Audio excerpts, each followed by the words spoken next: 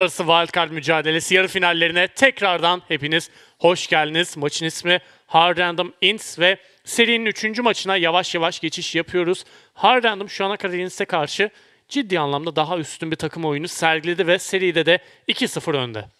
Ee, bu Meksika'da da 4-0 önde aslında. Evet. Adı- e, hem grupta hem tiebreak'te yenmişlerdi. Şimdi 2-0 yendiler ve sadece 2-0 yenmediler. Yani Ints'in hiçbir şey yapamadığını gördük. Hep söylediğimiz bir şey var. Ee, Ints'in özellikle Mikao başta olmak üzere takım halinde psikolojik olarak çok çabuk dağılabildiklerini de söylüyorduk.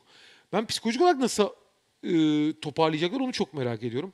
Bu sefer erken aşamada çok daha etkili bir iki şampiyon alıp erken aşamada hani kendilerini ateşleyecek, e, heyecanlandıracak, daha konsantre edecek bir iki başarıya ihtiyaçları var.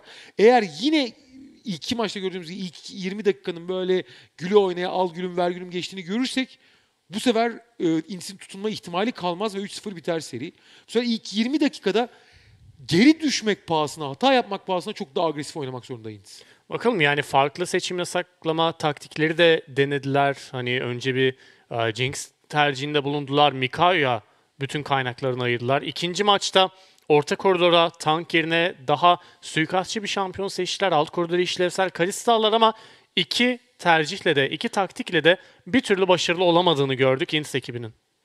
açıkçası e, herhangi bir alanda hani şunu da iyi yaptılar şu işte 10-15 tane kriter varsa şu alanda daha iyiler diyebileceğimiz hemen hiçbir şey göremedik Evet. ki e, biraz bizi şaşırtan da o yani e, Ints'in çünkü potansiyelini de biliyoruz.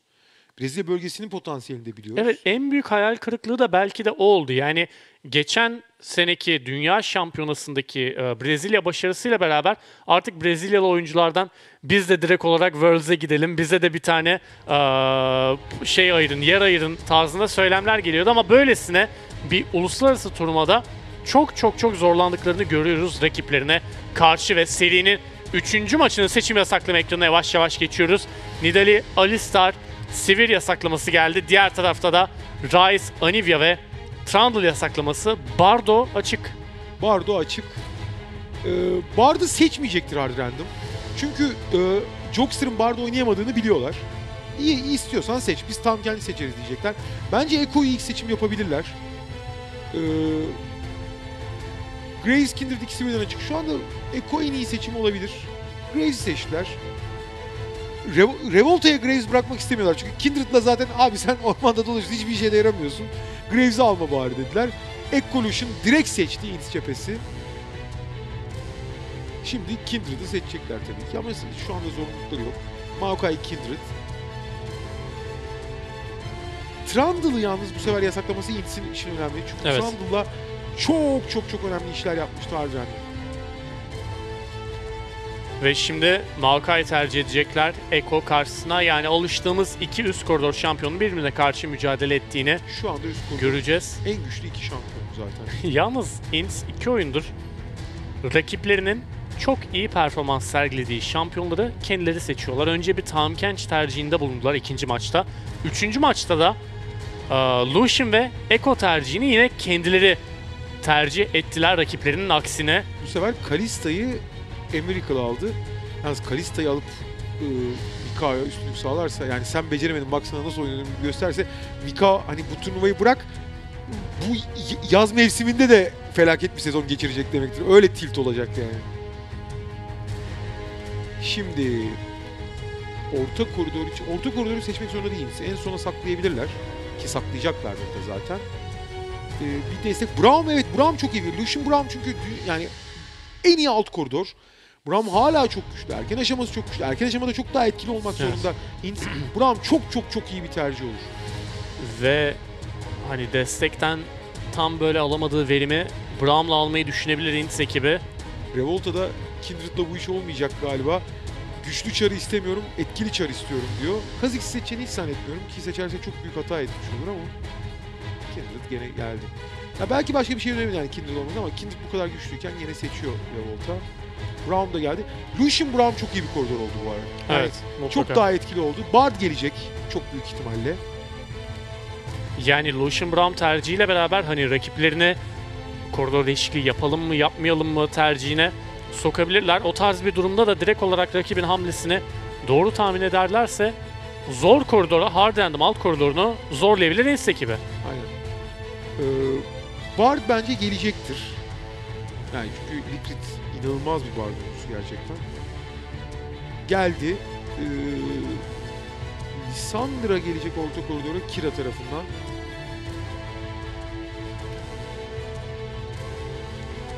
Ve Tokers bakalım Biz Azir alabilir ya. ki şu anda da hani bu tarz bir mücadeleye uygun olabilir bence. Bence de çok iyi olur Azir bence. Queen tercihi çünkü Queen felaket. veya Gangplank tercihi çok fiziksel hasara yönelik yapacak takımı. Aslında Lissandra'ya karşı iyi bir tercih çünkü e, ışınlan da taşıyabiliyorsunuz ve üzerinizde zaten direkt bir e, arındır oluyor diyebiliriz W'nun sayesinde. Ama Twisted Fate gibi. Bence Twisted Fate daha iyi. Çünkü Ins'in ilk 20 dakikada aktif olması lazım. Ha Twist- Twisted Fate'i alıp ilk 20 dakikada aktif olmayacaksan hiç alma zaten ayrı konu da. Evet. Bakalım gelecek mi ama kitlensin. Evet geldi Twisted Fate. Evet Ins yapması gerekeni yaptı bence.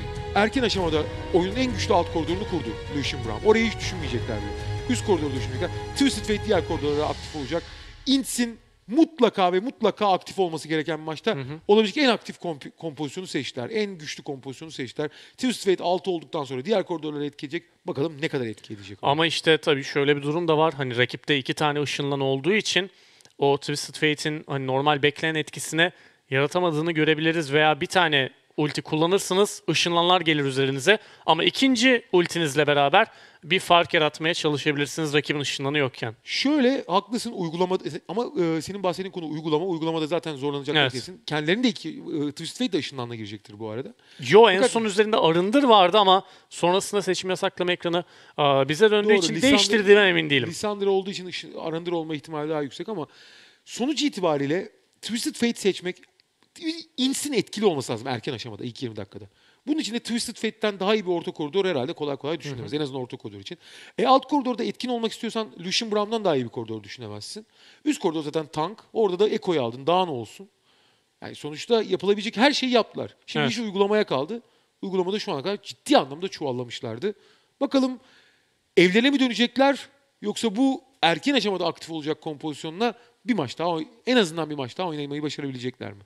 Bakalım Ints'in artık son umudu diyebiliriz bu turnuvada kalmak için. Kompozisyonları elverişli, güzel. Yine eee, en azından hani alıştıkları, bildikleri şampiyonlara geri döndüler diyebiliriz. Bu bakalım onlara güzel haberi getiriyor mu? Ve Mikao e, arada yani iki maç arasında bir soğuk e, su içip ya da bir buz tedavisi falan gördü mü? Çünkü tamamen dağılmış durumda şu anda, şu Evet. anda nişancı Mikao. Evet bakalım eee, yavaş yavaş serinin 3. maçına geçiş yapıyoruz. Eee, benim en merak ettiğim durumlardan bir tanesi koridor değişikliği görecek, görecek miyiz? Çünkü Şey- Kalista, Bra Kalista Bard'a karşı Braum Lucian ikilisi çok daha tehlikeli. Özellikle hani Bard'ın tamam koridorda kuvvetli olduğunu biliyoruz ama bir buz yanığına, meydan dayağına yakalandığı zaman direkt olarak çok büyük sıkıntı çekebiliyor. Braum Lucian koridorunda kalabilen tek e, koridor var. O da Caitlyn'li bir koridor. Ki o bile zorlanır. Braum Lucian koridorunu kimse istemez. Harden Hanım kesinlikle koridor değişikliği isteyecektir.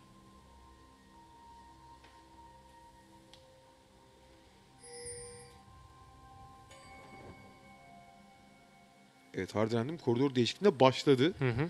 Tabii koridor değişikliği Bard için de süper oluyor. Çünkü bu Bard'ın haritada hareket etmesini sağlıyor eğer koridor değişikliği olursa.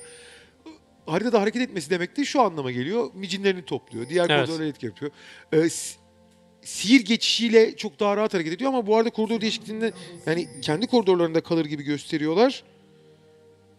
Ama bu numarayı yemedi. Ins ve koridor değişikliği olmayacak galiba.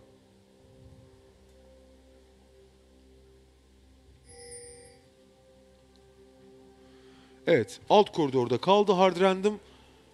Ins de o koridorda. Ve burada çalıda bekliyorlar. Şimdi buz yanığının etkilerini görebiliriz. Evet. Oo güzel Güzel kaçtı. bir ayak hareketi geldi. Kozmik Bağ'dan da yalnız şey ka- Kozmik Bağ'da Liquid kaçırdı. Yani bu erken aşamada bir ormanda karşılaşma pek bir şeye yol açmadı. Evet. Ama koridor değişikliği olmaması kimin işine geldi? Tabii ki Ins tarafının. Erken ikinci seviye olursa yalnız koridor kontrolünü ele geçirebilir. Hard Orta koridorda da yani beklendiği üzere Lisandra'nın üstün e, başladığını görebiliyoruz. 7 milyona 2 milyon Tokers oldukça burada zorlanıyor. Milyon biçilmek adına. Buradaki milyonların da büyük bir kısmını kaçıracak. Yalnız Tokers Doran yüzüğüyle girmiş. Oo bu arada Oo. Kira'yı direkt olarak yakalamayı başarırlar. Bu en azından Tokers'ı birazcık rahatlatacaktır. Doran yüzüğüyle girmek de iyi cesaret yalnız. Yani hani çizmeyle de girilebiliyor ama Doran yüzüyle girmediğiniz zaman Çünkü Q'nuz, E'niz ya hem Evet. mana hem de yani minyonları yetenekle öldürmekte çok çok, Çok zor. zorlanabiliyorsunuz. Doğru Çünkü Q'ya gelen o e, dengelemeden sonra hasarı da erken hasarı da azaldı. Liquid bu arada o küçümen minyonları almayı başardı. aldı. Mini golemleri. O bu arada çarp güzel geliyor Revolta'dan. Bakalım burada Steus'un sersemlediğini göreceğiz. Sihirli yolculuğu tercih etmediler. Agresif oynamak istiyor Hard Random ekibi ve Revolta'yı burada geri püskürtmeyi başardılar.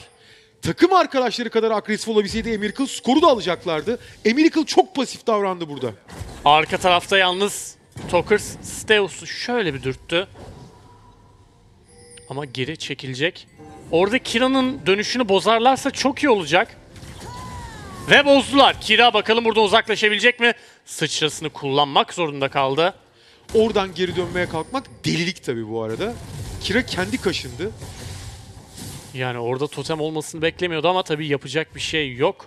Totem En olmasa, azından totem olmasa bile bir tane dışarıda dönüyoruz zaten. ya buzul pençeyle kendi Evet. ormanına git bir saniye kaybedersin ya. Ve Miracle bakalım burada sersemleyecek mi? Son bir otomatik geliyor. saldırı ge- gerekiyor ve sersemletmeyi başarırlar. Çok güzel bir hamle geldi orada Liquid'den. Müthiş bir. Olağanüstü bir Sersemletme kozmik, geldi. Olağanüstü bir kozmik bağ. Olağanüstü. Yani hayat kurtaran kozmik bağ bu. Yani iki şampiyondan birini bile tutması yetmezdi. İkisini birden tutması Evet. gerekiyordu. Ve ikisini birden tutmayı başardı kozmik bağıyla. Revolta şöyle bir rakip ormana girmek isteyecek. Alt koridorda çünkü Miracle'ın aa, bir şey olmadığını biliyor. Ins çok aktif şu anda. Bu aktifliğin ödülünü skorla almak zorundalar. Şu anda Direkt kule altı girişimi geliyor yalnız geldi. burada. Arka tarafta Miracle'ı kapatmayı başardılar. Meydanda yükleri çok hızlı birikti ve direkt olarak skor almayı başardılar ama burada Jokster'da barda düşecek. Liquid kaçmaya devam ediyor. Kozmik bağı kullandığı iki kişiyi Of. güzel sersemletti. Ama Ama, şu an nereye? ölümüne kaçıyor ve büyük bir ihtimal kuleye kendini feda edecek. güzel güzel gitti. Hop. Çok güzel. Çok güzel. Orta koridora tekrardan bir göz atıyorum. Kule altı girişimi aleyhine oldu Ints'in. Hı hı. Işınlanı kaybettiler. Birebir bir değişim oldu. İlk kanı aldılar belki hani çok avantaj. Ama üst koridorda kulenin canının yarısından fazlası gitti. Diğer koridorlarda baskı gitti. Bu arada Maokai ile Eko arasındaki minyon farkına bakar mısın? 39'a 25. Senin de dediğin gibi yani Smurf oldukça rahat bir biçimde minyon biçmeye devam ediyor. Orta koridorda da hani Twisted Fate'in burada zorlanacağını bildikleri için Ints ekibi olabildiğince buraya eee, yakın oynuyorlar. Yakın oynuyor oynamasına da yakın oynamak demek ne demek? Kaynak ayırmak demek. Evet. Oraya kaynak ayırdıkça diğer taraflarda e, dezavantaj olacak. Bu arada yalnız bunların hepsini söylüyoruz. Ins yapması gereken şeyi yapıyor. Erken aşamada aktif olmak zorundalar. Aktifler bundan sonuç ala- alamadıkça geriye düşüyorlar. Orman ve üst koridordaki minyon farkı delirmiş durumda şu anda. Ve şu anda Tokers'ın bakar 6. seviyeye ulaştığını da görüyoruz. Kira'nın ışınlanı olmadığını, Smurf'ın ışınlanı olmadığını biliyorlar. Bakalım bunu bir avantaja çevirebilecekler mi? Yalnız orman ve üst koridordaki minyon avantajı işte bütün bu aktifliğin cezası bu. Evet. Vadin alameti geldi. Revolta bunu biliyor. Rahat bir şekilde rakip ormanı gezecek. Şimdi kaleci... Ama duvar üzerinden kayacıları at... atlamadı. Rakip oyuncularla karşılaşabilirdi çünkü. Bu arada Twisted seviye bakımında geliyor. çok geride derken Twisted Fate geldi. Miracle'ı sersemletmeyi başardı ve burada Miracle'ın tekrardan düştüğünü göreceğiz. Beklediğimiz Twisted Fate ultisi alt koridora geldi ve ışınlanı olmayan Hard Random ekibi buna hiçbir şekilde yanıt veremedi. Ins bunları yapmak zorunda. Fakat bunları sadece bunlar yetmez. Bunu çok daha önemli sonuçlara mesela kuleye, mesela ejderhaya dönüştürmek zorundalar. Çünkü orta koridorda ne oluyor? Bütün bu minyonlar kuleye gidiyor. Kuleye hasar veriyor Kira daha fazla. Minyonları kaybediyor. Bu baskınların yani skor almak bir şey değişti. Skor skordan sonra yaptıklarınız skordan Evet. daha önemli. Kırmızısını da kaptırdı mesela. Hı hı. Minyonlar gitti, kırmızı gitti, kuleye zar hasar geldi. Demin vadinin alameti gitmişti. O Steos'a yalnız gereksiz içeri girdiğini gördük Revolta'nın ama güzel yemle diyebiliriz rakibini. Ultisiyle beraber Steos orada geri çıkmaya çalıştı ama başarılı olamadı. Revolta'dan cidden güzel bir hamle geldi. Müthiş yemledi. Steos da bence çok kötü tuzağa düştü. Görüşü olmadığı bir noktada o kadar ormanın içine girmesi delilikti. Böylelikle Minyon'da geride olmasına rağmen 1-0-2 oynadığını görüyoruz. Revolta'nın Bunu Steos hediye etti açıkçası onu söyleyelim. hop kozmik bağ geldi. Revolta'yı sersemletmeyi başardı. Yalnız Likrit'in nasıl bir bardo oyuncusu olduğunu şuradan da anlıyoruz. ne zaman nereye gideceğini Yıldırımların Efendisi Evet. hükmüyle giriyor. ve ne zaman nerede olacağını çok iyi biliyor. Valla Yıldırımın Efendisi hükmüyle girmesi bence güzel. Genelde barda aslında onu Evet, tercih ediyorlar aslında, tercih anahtar kabiliyeti Doğru, olarak. Doğru.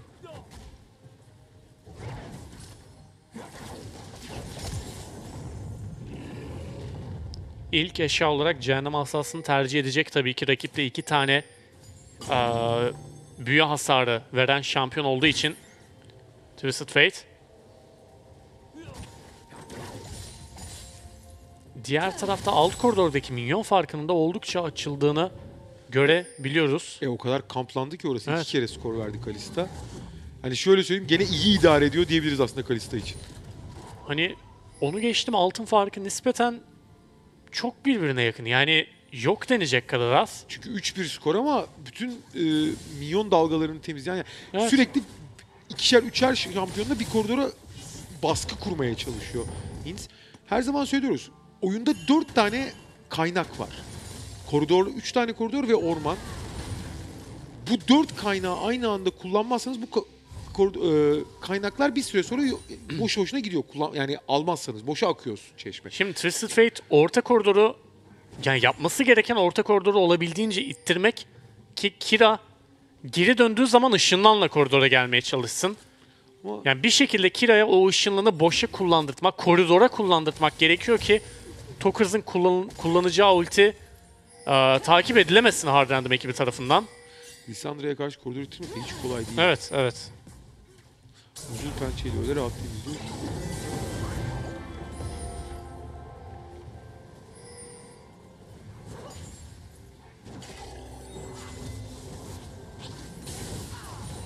...77'ye 89. Rakip keskin gagalarda bu arada Kindred e, simgesi çıktı. Yalnız bir kule altı daha görebiliriz. Kindred ultisiyle kule altı yapmak da çok kolay ama oradan anında uzaklaştı. Kalista vardı. Zaten canları da yarının altına inmiş. Revolta'nın erken dakikada hemen 8 yüke ulaştığını göreceğiz. Bu 11. dakika ejderiyle beraber. Erken aşamada çok daha aktif. Ama altın hemen hemen eşit. Hı hı. Olmaz. Gerçi bu kuleyi alabilirlerse önemli bir avantaj yakalayacaklar. Üst koridorda Smurf'ün henüz devreye girdiğini göremedik. Ki o da hani koridorda kalmayı tercih ettiği için minyon konusunda öne geçmiş vaziyette. Hem de bayağı öne geçti. Kara mühürü de almış durumda.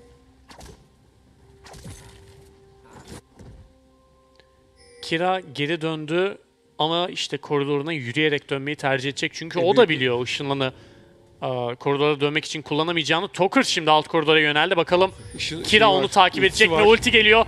Sarı kart seçilemedi. Kırmızı kartı seçti.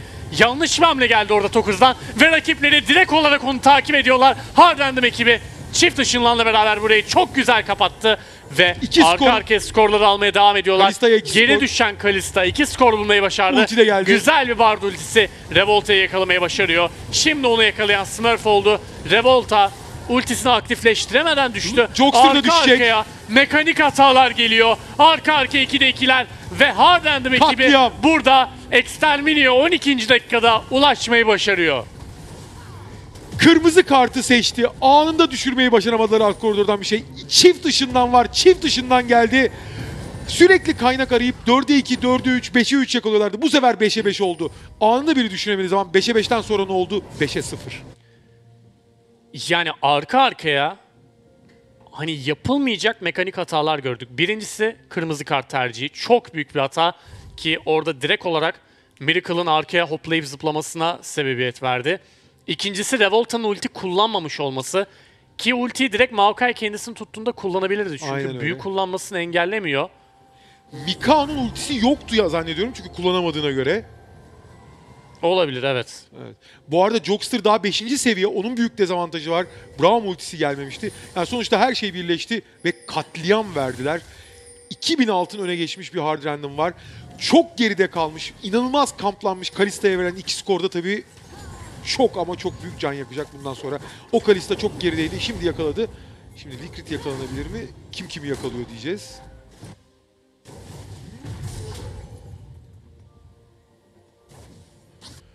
çok geride kalan e, Kalista zaten şu anda hala 40 milyona yakın geride ama iki skor alması o kadar önemli ki. Oyuna döndü adeta.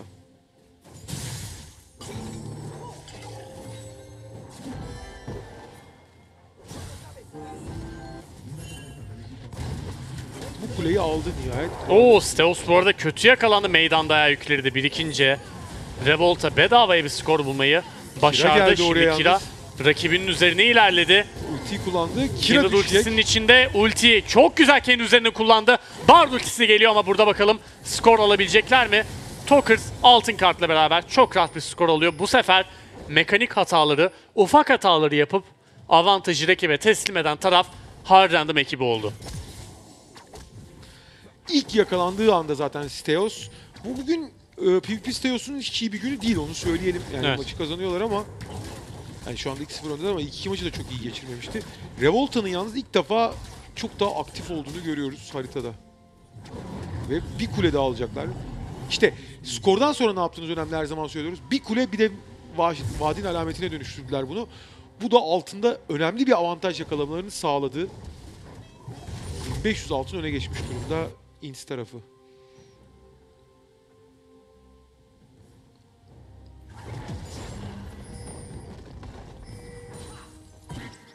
Evet Tokers Lich puana doğru ilerliyor. Bakalım. Aa, pırıltıyı almış. Ruh yelini almış. Yani direkt olarak zaten üstüne dönünce pırıltı ruh yeli bir de İonya çizmeleri tamamladı. Bayağı yüksek miktarda altınla. 2000 civarı altınla döndü üstüne. Tabii pasifinden gelen ekstra altın da var onu unutmayalım. Rakiplerinden çok daha hızlı koşacak aldığı bu eşyalar sayesinde.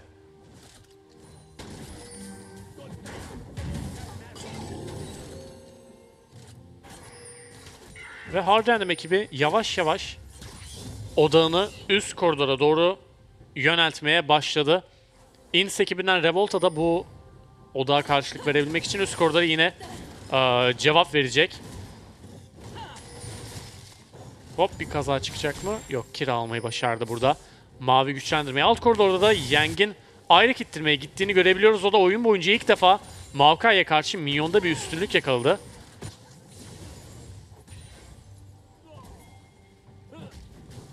Ve evet durum 6-5. Kulede Ints'in üstünlüğünü görebiliyoruz.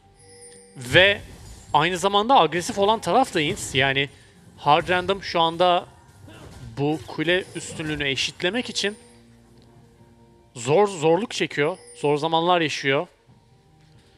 Altında toplam 1500 altın üstünlüğü var. Ints'in. Çok önemli bir üstünlük değil aslında. 500 zaten Twisted Fate'in pasifinden kaynaklanıyor. E, Bini de zaten kuleden. Evet. Ama bu kulenin canı da çok azaldı. Bu kuleyi de kule altı yapabilirler Kindred ultisi de varken. Gerçi hemen PvP Steos oraya geliyor.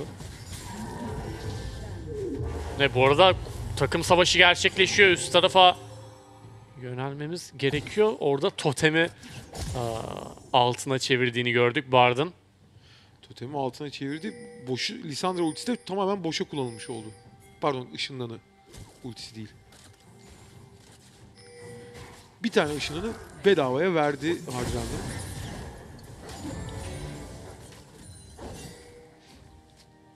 Şimdi bakalım Tokers'ın bir ulti kullandığını ve bunu biraz daha rahat kullandığını görebiliriz. Zira Kira'nın aa, ışınlanı mevcut değil Yalnız Yang bu kuleye dayandı.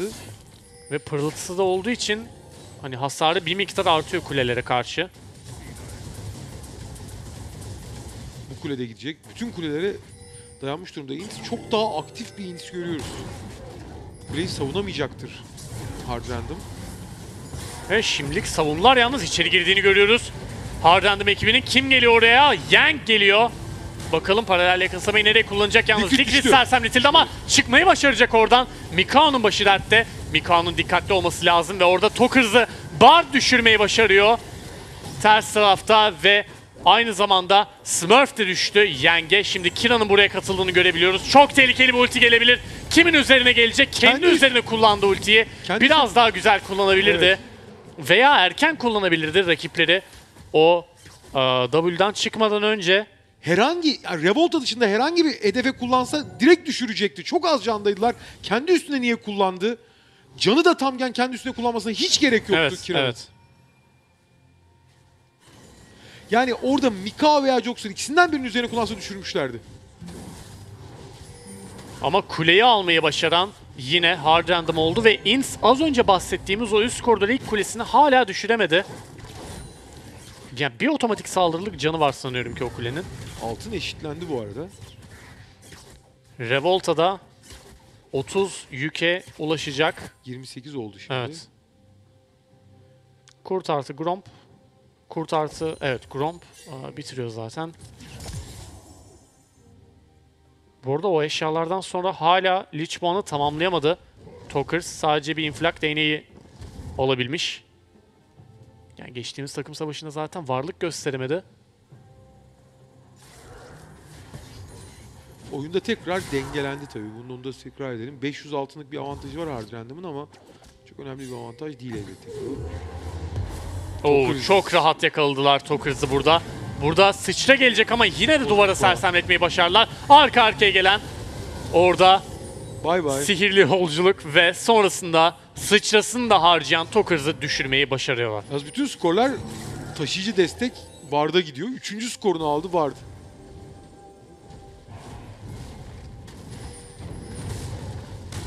Bir ejderha daha geliyor. Şey, Harcandım için. Pardon ilk ejderha özür dilerim.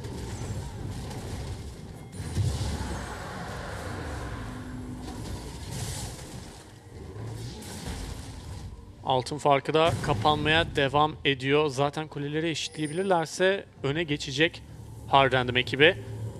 Orta koridoru bu yüzden Ints'in savunmaya devam etmesi gerekiyor. Yani orayı e, bırakmak istemeyeceklerdir tabii ki. Hard Random belki de bu arada hani en mutlu olduğu yanlardan bir tanesi koridorda çok çok çok geriye düşen e, Miracle'ın neredeyse en yüksek skor katkısına sahip olan oyuncu olması. Jokster'ı çok güzel yakaladılar. Bakalım devamı gelecek mi? Kozmik Bağ yavaşlatıyor onu. Ama e, Kira ve Miracle takip edecek hasarı çıkaramadılar. Bu arada belli yeteneklerin isimleri biraz aldatıcı olabiliyor. Yettim Gari ile kaçtı oradan. Yettim Gari değil, kaçtım Gari o. Direkt orada takım arkadaşı sayesinde uzaklaşmayı başardı. Kira, Yok oldu. Kira içeri girmeyecek. Paralel yakınsama geliyor. Kimse isabet etmeyecek. Twisted Fate ters tarafa. Orada ultisini kullandı. Kira'dan çok güzel bir ulti. Birçok kişinin üzerine yaymayı başardı o hasarı. Ve Oo. agresif bir buzul pençe geliyor. Revolta'nın başı dertte. Hard Random'ın hepsi orada Kindred ultisinin içinde kaldı. Ama Inseki bakalım burada hasar Yangı çıkarabilecek mi arka tarafta Hawk Şimdi düştü ya. Poker sayesinde ama Young'ı da düşürmeyi başarıyor. Hard Random ekibi Sadece Miracle kaybettiler ve karşılığında 3 skor bulmayı başardılar. Sonradan olaya dahil oldu. Biraz geç kaldı Maokai ama geldikten sonra ortalığı birbirine kattı adeta. Ve Ve 3 skor daha buldular. Skordan sonra ne yaptıkları çok önemli. Hep söylüyoruz. Fakat yapabilecekleri fazla hedef yok. Baron alamazlar. Bu kadar az candayken. Fazla yapabilecekleri bir şey yok. Kule de alamadılar. Zaten orta koridor kulesini almışlardı çünkü daha önce. Bu skorlar o yüzden çok da fazla bir avantaj Evet. getirmeyecek Hard Random'a. orada yakalanacak gibi olan Kira üzerine gelen rakip oyunculara çullandı. Sıçra ve ulti kullandı. Gerçekten yüksek miktarda hasar çıkarmayı Bir başardı. önceki takım savaşında rakibin üzerine ulti kullanması gerekiyordu. Kullanmamıştı. Bu sefer kendi üstüne kullanması gerekiyordu. Kullandı ve çok başarılı Evet. oldu. Ki yani buzul pençeyi de hasar vermek için e, buzul pençenin hasar vermek için kullanıldığını pek görmeyiz ama ultiden çıktıktan sonra onu da rakibin üzerinde kullanma fırsatı bulmayı başardı. Ve durum 12-7'ye geldi. Oyun boyunca ilk defa Hard Random'ın altında da öne geçtiğini görebiliyoruz. Ve çok aktif başlayan, çok agresif başlayan Ints'in hızında kestiler ayrıca. Mikao ıı, can biçenden sonra bombardıman topu tercih etmiş. Genelde statik hançer biraz daha fazla tercih edilen bir eşya oluyor. Biraz daha etkili oluyor aynı zamanda. Ama yani pozisyonunu korumakta cidden çok zorlanacak. Özellikle rakipte Maokai, e, Lissandra, hani Bard Kalista vesaire varken Kalista bu arada Oo bu Oo. çok tehlikeli. çok tehlikeli, Ve- riskli ama e, çok hızlı alırlar. İşin yanlış kısmı kendi pembe totemlerini o duvarın çok dibine koydular. Ve şimdi hard random yani tepside altın tepside sunulmuş gibi alacak mı bakalım bu baronu. Bir ışınlandı diğer taraftan Yang tarafından kullanılıyor. Bu riskli Kalista olabilir. İki var. takım için de çok riskli olabilir. Kalista'ya güveniyorlar. Mızrak yükleri birikmeye devam ediyor ama bir takım savaşı başladı. başladı. Kira'dan güzel bir ulti kullanıldı. Arka tarafta Revolta Geldi ve Baron. burada mızrak yükleriyle beraber Kalista bulmayı başardı Baron'u. Kendisi öldürdü ve Tokers arka tarafta hasar veremeyecek. Tamamen takım savaşı dışında kaldı ve Smurf onu düşürmeyi başarıyor. Assassinato Doble Smurf tarafından geliyor. 2'de 2 yapmayı Üç skor başardı. aldılar. Baron'u aldılar. Psikolojik olarak tamamen yıktılar Ints'i. Bu baron kararı çok riskli ama bence yapmaları gerekiyor. Çünkü bir şeyler yap. İlk iki maçta hiçbir şey yapmadan kaybetmişlerdi. Bu sefer bir şeyler yapmaya çalıştılar. Fakat görüldüler. Ba- Braum görülüyordu. Görüşü temizlemeden bunu yapmaları delilik. Ya koydukları pembe totem duvara çok yakındı. Bu yüzden hemen dışarıdaki o yeşil totemi Evet. görmüyordu. Yani içeri girmişken biraz da en azından öne Ortaya bırakabilirlerdi. ya, ortaya Aynen öyle. atarsın. İlginç yanı yeşil totem sadece en öndeki Braum'u görüyordu. Başka kimseyi görmüyordu. Aynen öyle. Ama sadece onu görmesi yetti zaten. Ve hard Yalnız random baron güçlenmesiyle beraber geride dönecek. kasıtlı yapmamıştır muhtemelen Hard Random ama biraz da şanslıydı. Çünkü yeşil Tabii. totemi normalde oraya bırakmazsınız. Kasıtlı yapmadılar bunu. Bıraktılar. Oraya bırakacağını da tahmin de etmemiştir muhtemelen Hard Random. Bazen işin içine şans da giriyor işte. Yani tamamen istedikleri gibi gerçekleşti diyebiliriz ve İnhibitörü açtılar, Baron'u aldılar. Altında 5000 altın öne geçtiler. Psikolojik olarak zaten e, çok yıkılmak üzere olan Ints'in psikolojisini alt üst ettiler. Daha ne olsun. yani Zonya, işin e, Zo- Zonya'sını bitirdi. En moral bozucu kısım belki de Ints'in 3 maçta da hani maçın bir noktasında önde oluşuydu. Ve arka arkaya yapılan hatalarla beraber şu anda 3-0'lık bir yenilgiye çok yakınlar. Bakalım Baron güçlendirmesiyle beraber ittirmeye devam ediyor bu koridoru. Hard Random ekibi. Kuleyi korumaları kolay değil. Yalnız orada Oo arka Yan- tarafa Yang gelmiş. niye gelmiş? Yani hoş gelmiş diyelim ve burada Joxer hala yani üst koridor olmadan takım savaşı kovalıyor şu anda. Ints ekibi büyük bir hata. Revolt ultisini kullandı ama bu sadece kaçınılmazı geciktirecek. Liquid'den çok güzel bir sihirli yolculuk Oo, üzerine kozmik bağ. İki kişiyi sersemletmeyi başardı. Exterminio. Ve Exterminio 26. dakikada geliyor. Assassinato Doble de burada Miracle'dan geliyor ve Süper minyonlar, baron güçlendirmeli süper minyonlarla oyunu bitirebilirler mi bakıyoruz. 30 saniye ve e, ölüm süreleri. Oyunun bittiğini göreceğiz. Serinin bittiğini göreceğiz. Hard Random'ın finale çıktığını göreceğiz. Gerçekten tebrik etmek gerekiyor Hard Random ekibini. Nexus kulelerini de düşürdüler ve sırada sadece Nexus var. Ve böylelikle 3-0'lık galibiyetle Hard Random finale çıkmaya hak kazanan ilk, ilk takım olmayı başardı. Geçtiğimiz yıl e, Wildcard elemelerinde, Dünya Şampiyonası elemelerinde Hard Random Gü- Güney Amerika grubundaydı. La- Latin Amerika ve e, Brezilya grubundaydı. E, Hard Random değil. e, ve gerçi INSE değil ama Brezilya takımına elenerek Dünya Şampiyonası vizesini kaybetmişlerdi. Evet. O zaman ondan sonra da bayağı tatsız şeyler yaşanmıştı. Brezilyalılar biliyorsun e, çok heyecanlı oldukları için biraz da fazla küçümsemişlerdi Hard Random'ı. Belki e, Pain Gaming'den değil ama Ins'ten intikamını Hard Random. Burada 5 maçın 5'inde kazanıyor. Yarı finalde açıkçası perişan ettiler Ins'i. Ins açısından da kolay kolay atlatamayacakları bir travma bırakmış oldular.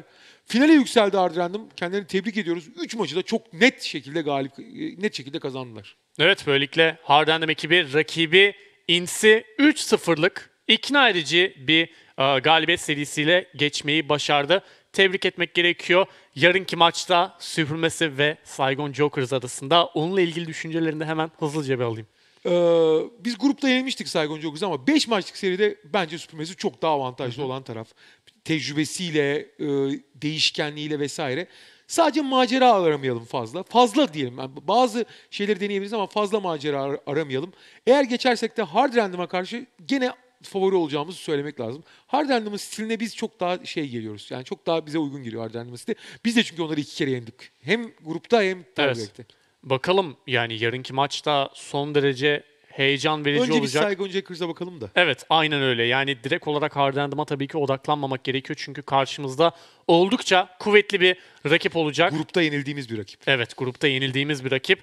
O maçında e, bilgisini verelim tabii ki yarın akşam saat 8'de tabii yarın demek doğru değil çünkü zaten perşembe gününe geçiş yaptık. Bu akşam diyelim saat 8'de Saigon Jokers'a karşı Supermassive oynayacak ve Hard Random'ın finalde rakibi olmaya çalışacak ve MSI'dan pardon Ivci'den finalde galip ayrılan ekip MSI'ye gitmeye, sezon ortası özel turnuvasına gitmeye hak kazanacak diyelim. Bugün yayında ben Can Scarlett Çaldıran yanında Kaan Second Best kural yorumlarımızla maç esnasında bu 5 maçlık seride sizlere yardımcı olmaya çalıştık.